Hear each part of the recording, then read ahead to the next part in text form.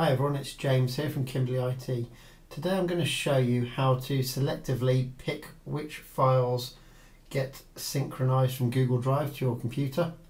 Um, this is a feature that not many people know about, but it's built into the Gmail, uh, the Google Drive sync client. So if you click on it, on the Google Drive icon in the bottom right hand corner near your clock, and then click on the three dots and preferences, you'll see this window called Sync Options. Uh, by default, it will say everything on my drive is being synced to your computer.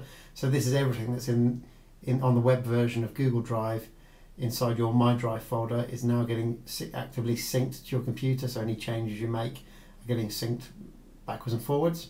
What you can actually do if you're running low on hard drive space um, is tell it to only sync selective folders. So say for example, um, this folder here Better Cloud Reports is a, a ginormous folder and it's just taking up so much space on my hard drive but I don't necessarily need to access it on my on my local computer. I can access it through the web.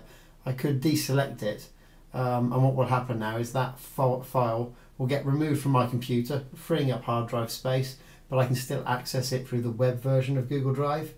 Um, so I just thought I'd highlight this for you so you can see how to free up space on your computer if you're running low on, on hard drive space.